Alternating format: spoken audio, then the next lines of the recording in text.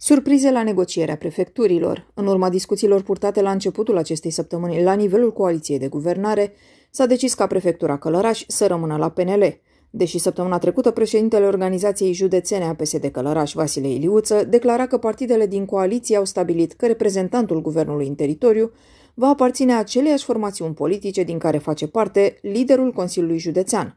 Lucru afirmat de altfel chiar de șeful liberalilor Florin Câțu. Chiar dacă au pierdut funcția de prefect, socialdemocraților călărășeni ar urma să le revină funcțiile de subprefecți și de secretar general al reprezentantului guvernului în teritoriu. În momentul în care negocierile la nivel național au decurs, uh, am făcut solicitări, dar uh, până la urmă, faptul că nu avem prefectul de călărași, dar suntem într-o alianță și sperăm din tot sufletul, de aici încolo, situația între noi și prefectură să fie una funcțională, la nivel instituțional vorbesc.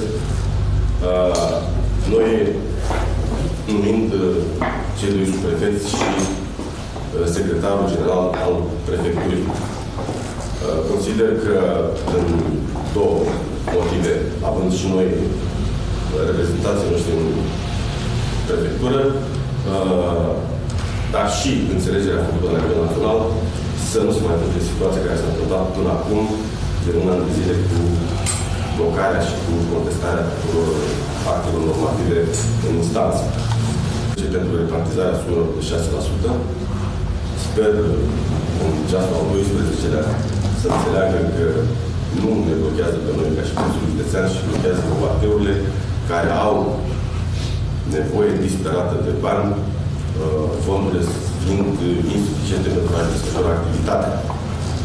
Uh, sper, în urma discuțiilor, să nu mai avem uh, contestată și ultima hotărâre, pentru că termenul de transmis la finanțe este 17 și deja mai este o zi, dar dacă astăzi se rezolvă, mâine se pot alimenta conturile și primările se poate să-și cheltuiască banii până la sfârșitul anului, ceea ce nu se cheltuiască nu se rămână în fondul de rezervă.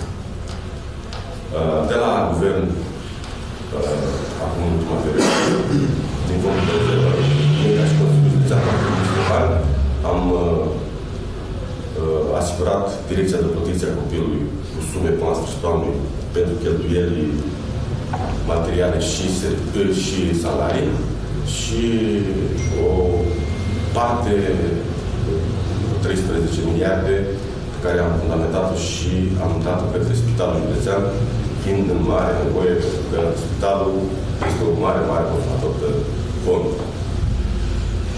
La Consiliul Județean, lucrurile, cu toate greutățile pe care le-am spus până acum, lucrurile merg într-o, într-o direcție bună. După cum uh, ați văzut uh, săptămânal, v-am invitat pe șantierele pe care le avem deschise atât la nivelul municipiului cât și în județ. Uh, lucrăm acum la execuția bugetară. Este posibil, datorită creditul pe care l-am luat în vară, Uh, sumele care ne vin pe, pe proiecte, ca în viitor să uh, ne rămână ceva bani pentru excedent și din excedent uh, să putem să finanțăm alte lucrări anul viitor. O să aud și eu. Ieri am, în cadrul primăriei Călăraș, alături de Consiliul Județean, lider de proiect, am semnat predarea amplasamentului pentru proiectul european uh, promenadă. Urmează ca în perioada următoare, dacă timpul ne va ajuta, constructorul să înceapă execuția acestui proiect. După un an de zile în cadrul primăriei Călăraș, uh, am finalizat o mare parte din uh, din uh, licitațiile aflate în derulare la sfârșitul anului trecut și pornite în mandatul actualului primar Marius Dulce, licitații care au pus în, uh, pe poziție viitoare constructorii cu mari dificultăți pentru că, așa cum știm, uh, prețul materialelor a crescut extrem de mult în ultimul timp și au trebuit făcute actualizări conform ordonanțelor de urgență date de, de Guvernul aș vrea să, să vă mai transmit un mesaj și anume faptul că într-adevăr așteptăm să intrăm într-o normalitate în uh, județul Călăraș pentru că activ, acțiunile pe care le încercăm să le, să le avem la nivelul municipiului și județului au fost blocate în ultimul an de actualul prefect al, uh, al uh, Călărașului, Valentin Baru, în echipă cu un individ care în perioada următoare cred că va, își va continua studiile la liceu și va, va reuși să, să-și updateze, că vârsta îl și ajută să-și updateze uh, școala începută cu mulți, mulți ani în urmă. Marile lupte politice au fost în 2020. Ceea ce se întâmplă în momentul de față și câștigate de PSD, cu un procent de 50%, putem să spunem că avem un județ condus de președinte de Consiliul Județean PSD, avem un, un uh, municipiu reședință de, de județ condus de un primar PSD, deci avem un câștig cu un procent extrem de mare la nivelul județului Călăraș,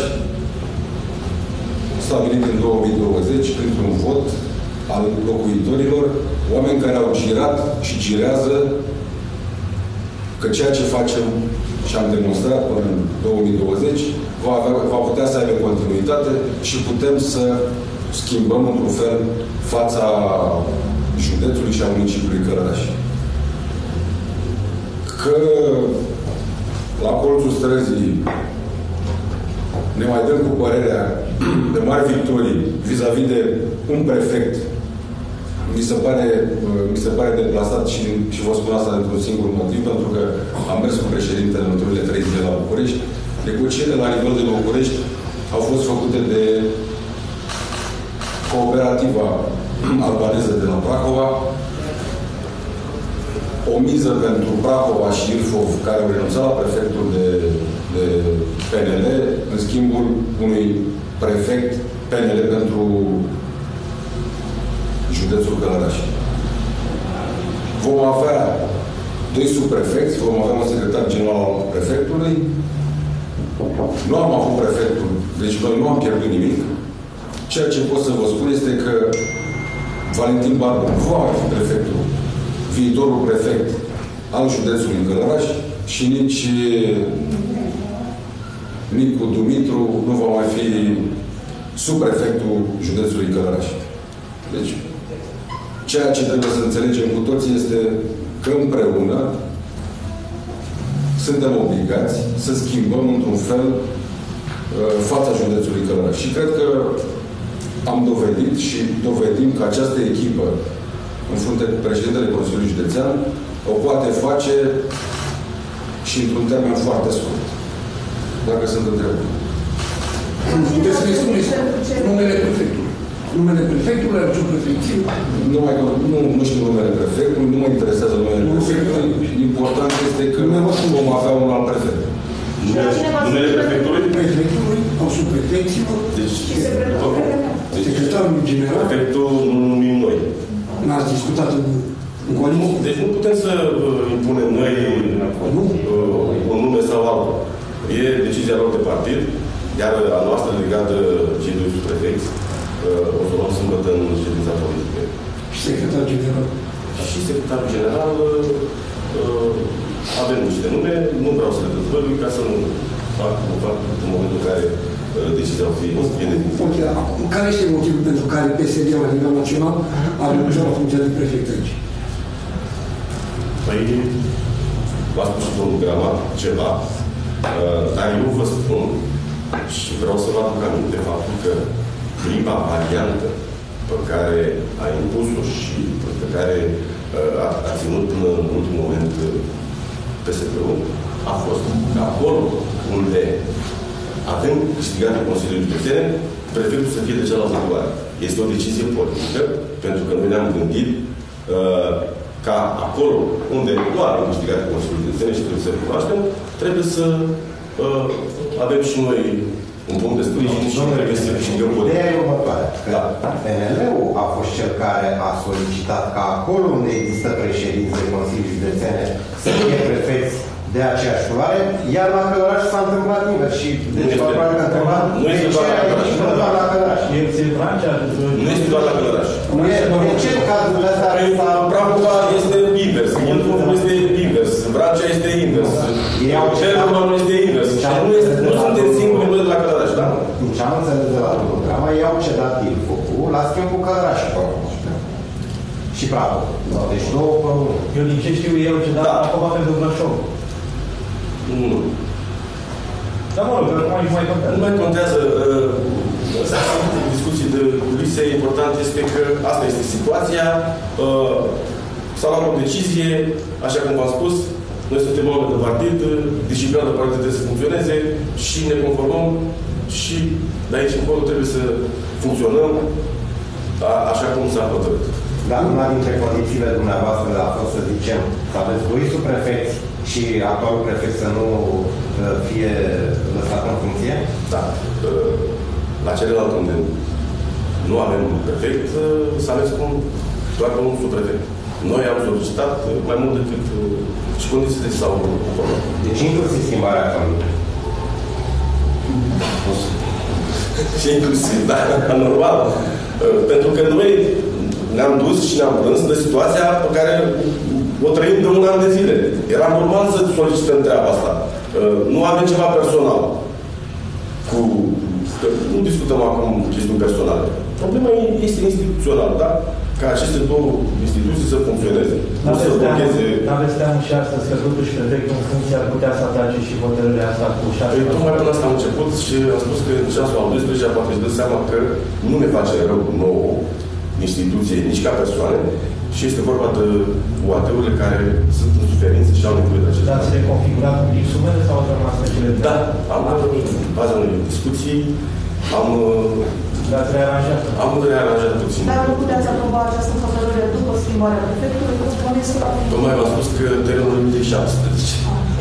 Motiv pentru care suntem chiar pe ultima sută. Astăzi să dăm hotărârea, mâine să o ridicăm la trezorerie și să alimenteze conturile către primărie.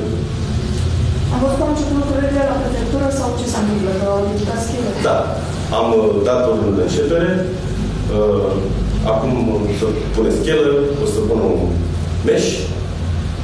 Situația de afară nu ne permite să facem lucrări, dar uh, problema a intrat pentru că am recepționat proiectul, s-au făcut toate lucrurile și acum Proiectul prevede reabilitarea întregului corp. toate, toate clădirea, da. Mă refer și la cea care a Și fost la cea, reabilitată prin banca. cea care este în- uh, să reabilitează fațada, normal, să face toată fațada. Și interioarele? Interioarele după pe partea, pe partea aia. E deja Nu, de asta, mă întreb, asta e exact. Deci nu prevede doar exterioarele, tot ansamblu, iar interior ce nu este exact, da. prefăcut. Da. De concentrare ați negociat ceva. De concentratele s-a făcut o primă discuție, nu este definitivă, motiv pentru care nu pot să vă spun ce și cum. Pentru că uh, situațiile sunt diferite. Uh, Sunt de concentrate care sunt deja cu examene sau sunt în curs de examene. Asta o să discutăm în, func- în funcție de uh, situația cu fiecare Ar putea fi reglementată situația situației care sunt prefecții până în Crăciun? uh, cu siguranță, da, după ședința de bine. Domnul Bește rămâne întors pentru prefectură, chiar pentru postul de subprefect, dacă... Păi, uh, domnul Beștea uh, se ducea la prefectură în funcția de prefect. Asta zici, dacă Nu nu mai poate să rămâne... meargă într-o funcție aleasă să ducă sub prefect. Nu. La negociere a intrat cumva și una din funcțiile de vicepreședinte sau de viceprimar? Nu. Majoritățile sunt create în urmă cu un an. Nu putem să răsturnăm acum o situație în care au funcționat un an de zile pe motiv de ce? Deci PNL nu s-a ales decât cu o funcție de prefect. Da, prefect. Da, vă așteptați ca de la anul, să spunem, ședințele de Consiliul Local sau de Consiliul Județean să fie m, altfel vis-a-vis de această coaliție? Sau vreți să devină aceleași... Mai puțin tensionat. Deci nu mă aștept ca, să, ca ședințele de Consiliu să se desfășoare normal și fiecare consilier județean uh, să își dea seama că a fost trimis în Consiliul Județean pentru dezvoltarea județului. Așa am spus și eu când am început mandatul, am spus uh, Consiliul Județean În ședințele Consiliului Județean se votează pentru oportunitate. Tot ceea ce spun ei și ne ia pe Facebook și pe toate canalele legate de, de că nu e legal, nu, nu este atributul Consilierului Județean. Atributul pentru legalitate îl dă uh, secretarul general al Consiliului și îl dau uh, funcționarii care uh, în preambulul fiecare hotărâri trebuie să pună legalitate. Din ce știți dumneavoastră, alianța asta PNL-USR este înregistrată la tribunal? Ei în Consiliul Județean au funcționat pe liste comună.